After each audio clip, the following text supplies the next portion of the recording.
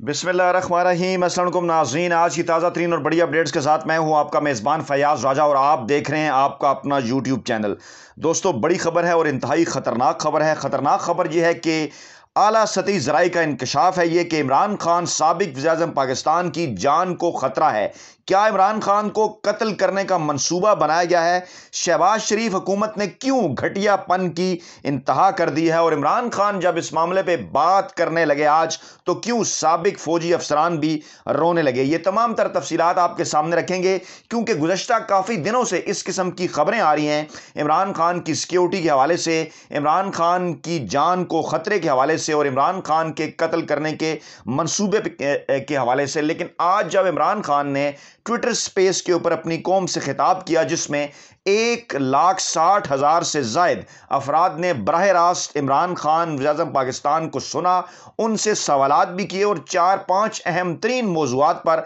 इमरान खान ने बड़ी डिटेल गुफ्तु की और वहीं ये मामला भी आया वज़ी पाकिस्तान इमरान खान की सिक्योरिटी के हवाले से और उनसे ये सवाल भी किया गया कि उनकी जान को ख़तरा है। इस हवाले से वो क्या स्टेप ले रहे हैं? इसकी तफसीत में जाने से पहले मैं चंद दीगर चीज़ें जो है वो आपके सामने रखना चाहता हूँ, क्योंकि इमरान खान ने बड़े ही वाज अंदाज में यह बात कर दी है कि हकीकी आज़ादी के लिए उन्हें अपनी जान की भी परवाह नहीं है, और वो सिक्योरिटी खदशात के बावजूद लाहौर के जलसे में ना सिर्फ़ शिरकत करने जा रहे हैं, वहाँ पर वो खिताब भी करेंगे। उनका यह कहना है कि एहतियात के बावजूद उनका इस बात के ऊपर ईमान है कि ज़िंदगी और मौत अल्लाह ताला के हाथ में है, वो एहतियात करते हैं, लेकिन उनका ये मानना है, उनका ये ईमान है कि अगर आपका वक्त नहीं आया तो चाहे कोई कुछ भी कर ले, उस वक्त तक जो है वो आपकी जान वो नहीं ले सकता। लेकिन अगर आपका वक्त आ गया है तो आप फिर अगर एक कमरे में भी बैठे रहें तो आपकी ज़िंदगी की घड़ियाँ नहीं बढ़ सकती। यकीनन एक मुसलमान का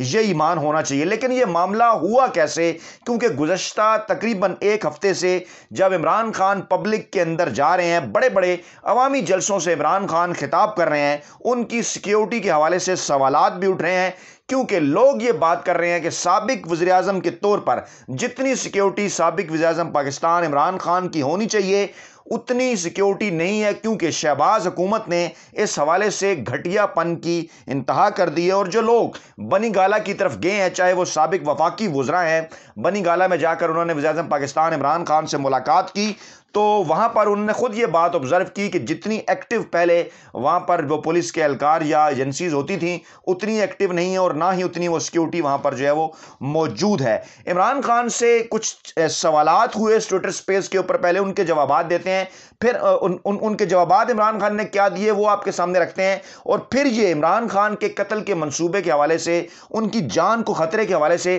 किस कॉन्टेक्स में बात हुई और ये थ्रेट कितनी सीरियस है कितना बड़ा ये मामला है इसके ऊपर भी कुछ अहम तफसीत जो है वो आपके सामने रखते हैं। इमरान खान से सवाल पूछा गया इदारों के हवाले से फ़ौज के हवाले से अदलिया के हवाले से कि लोग सोशल मीडिया पर तनकीद करते हैं इन इदारों के ऊपर बात करते हैं आपकी हुकूमत गई और उनके किरदार के ऊपर सवालिया निशानात उठाते हैं, जिसके जवाब में इमरान खान का कहना था कि देखें, ये जो इदारे हैं, ये किसी एक शख्स का नाम नहीं होते। बाज़ात इदारों के अंदर कोई एक शख्स या बाज़ अफराद मौजूद कुछ ऐसे फ़ैसले कर लेते हैं कि जिनकी वजह से जो है वो कुछ इस किस्म के मामला पैदा हो जाते हैं, जिस तरह के अभी पैदा हुए हैं। लेकिन इसका ये मतलब हरगिज़ नहीं होता कि पूरा इदारा जो है वो इस किस्म के मामला में शामिल होता है। उन्होंने कहा कि हमारे दुश्मन फ़ौज को कमज़ोर करने के लिए मुसलसल माजी में हमले करते रहे हैं, अब भी हमले करेंगे। हम कभी भी, मैं कभी भी फ़ौज के ख़िलाफ़ जो है वो बात कभी नहीं करूँगा। इदारों में बाज़ात किसी एक फ़र्द का कसूर होता है,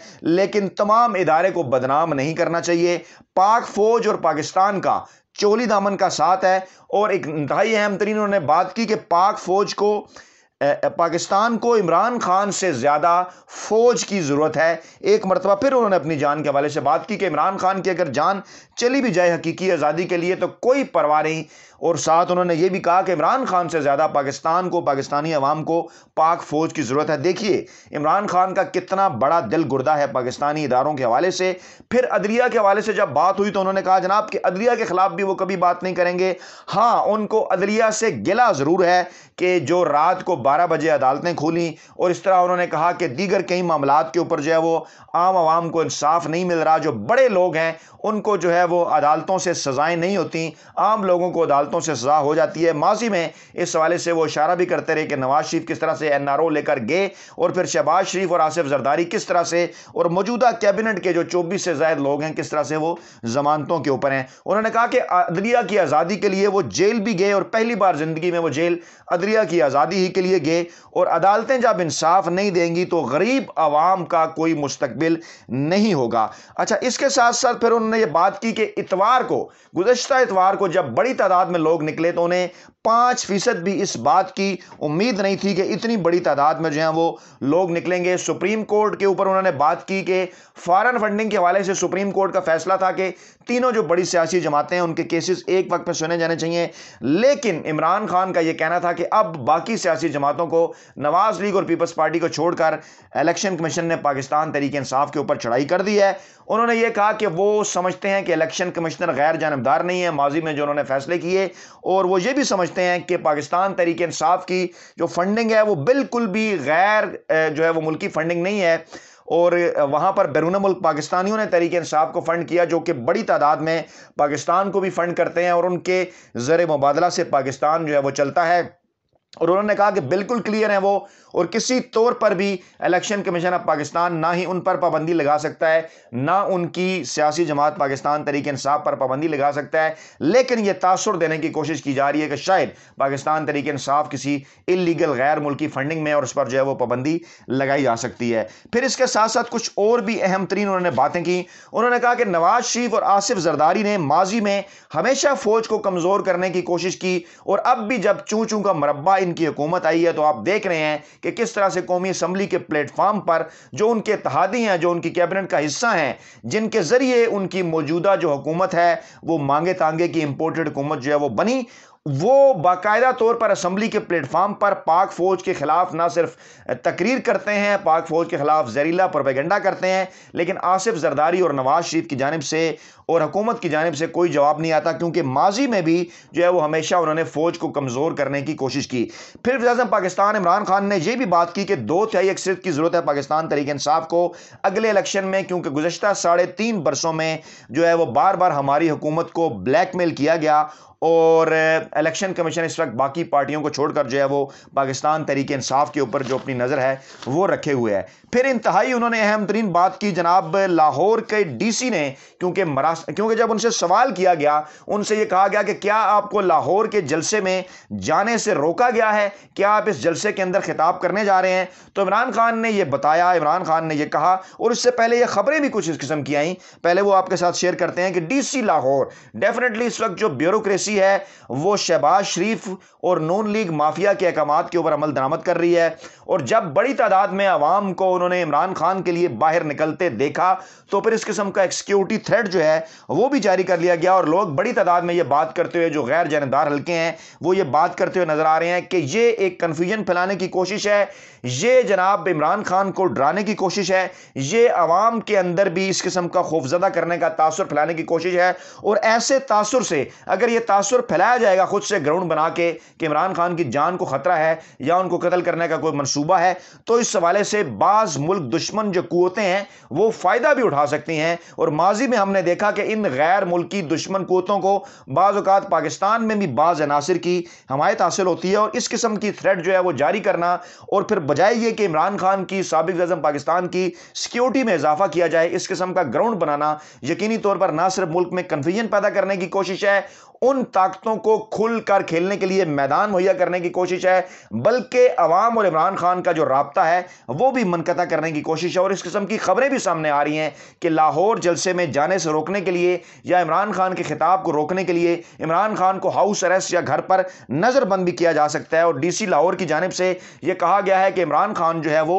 वीडियो लिंक के ज़रिए खिताब करें। लेकिन इमरान खान से जब यह सवाल किया तो उन्होंने कहा, जनाब, के मौत और ज़िंदगी अल्लाह ताला के हाथ में है और अगर आपकी ज़िंदगी बाकी है तो कोई माई का लाल जो है वो आपकी ज़िंदगी ख़त्म नहीं कर सकता, चाहे पूरी दुनिया ज़ोर लगा ले। अगर अल्लाह ताला की ज़ात ने आपकी ज़िंदगी लिख रखी है तो आप पर कोई आँच नहीं आ सकती। लेकिन अगर आपका वक्त पूरा हो गया है तो चाहे आप बंद कमरों में बैठे रहें, आप अपनी ज़िंदगी के एक घंटा भी जो है वो नहीं बढ़ा सकते। तो इमरान खान ने यह बात वाज कर दी है कि किसी किस्म की धमकियों से किसी, किस्म की सिक्योरिटी थ्रेट से वो खफजदा नहीं है। आज हर सूरत वो लाहौर जाएँगे, अवाम के के अजीमुल शान जलसे से खिताब करेंगे। और इस वक्त जब मैं आपके सामने ये वीडियो पेश कर रहा हूँ तो बड़ी तादाद में लाहौर पूरा सड़कों पर है। अवाम बड़ी तादाद में खातन बच्चे, बुज़ुर्ग, हर किस्म के शोबे ज़िंदगी से ताल्लुक़ रखने वाले लोग इस वक्त लाहौर की सड़कों में सड़कों के ऊपर है। और मीनार पाकिस्तान जिस जगह जलसा होना है, ये तारीखी जलसा, वहाँ पर जलसे से पहले ही जो गुजशत दो दिन है, कल का दिन, आज का दिन, वहाँ पर जलसे से पहले ही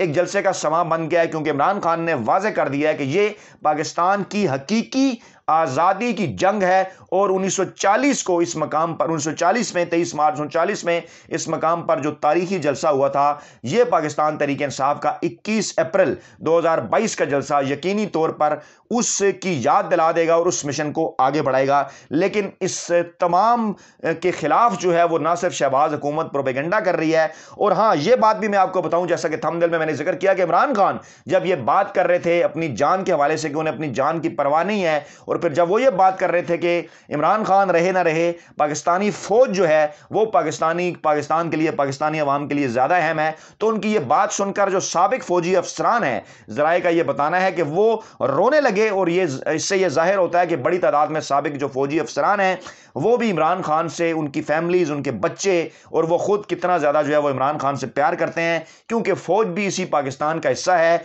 इदारे हमारे लिए काबिल एहतराम है, और इमरान खान ने भी ये कहा कि इदारों की रिस्पेक्ट जो है वो हर सूरत ज़रूरी है, और हमें ये देखना होगा कि बेहतर और ज़बरदस्त पाकिस्तान के मुस्तबिल के लिए इमरान खान जो कि वाज तौर पर नज़र आ रहा है कि इस मुल्क की ज़रूरत है, और यकीनी तौर पर अगली हुकूमत भी इमरान खान की इन ताला दो तही अक्सीत से आएगी। अपना बहुत ख्याल रखेगा दो में याद रखेगा नई वीडियो के साथ जल्द आपकी खिदमत में हाजिर होंगे। अल्लाह ने के बाद।